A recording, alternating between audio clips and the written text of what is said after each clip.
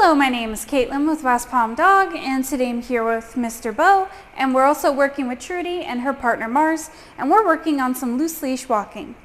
Now, loose leash walking is one of the most important things you can teach a dog, and today we're just going to be walking around the patio, walking back and forth past each other because we're going to use the dogs as distractions for each other.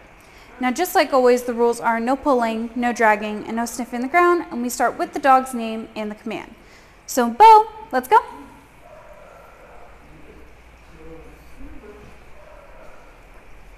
Right off the bat, you see both dogs got really nice pacing. Come on.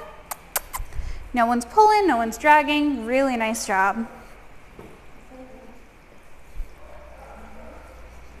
Come on.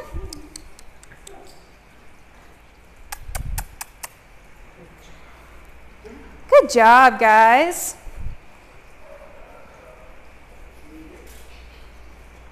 Really nice. And you'll notice that the dogs are definitely noticing each other, but they're not pulling or changing the walk as a result, which is exactly what we're looking for.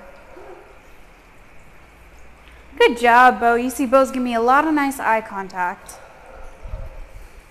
Come on. Good job, guys. We're going to go ahead and do a couple more laps, but you see the dogs are doing really nice. Both are giving very polite walks. No one's pulling, no one's barking.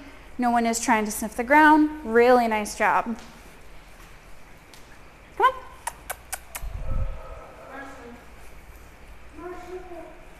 Good job.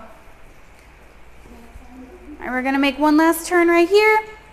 And then when we want to stop with our dogs, we're just going to go ahead, say their name, and then take a couple extra steps. So it's going to be Beau. Yes, good boy. That was a very nice job from Beau and very nice job from Mars. Overall, both dogs did excellent. This was a great practice session. Let's go.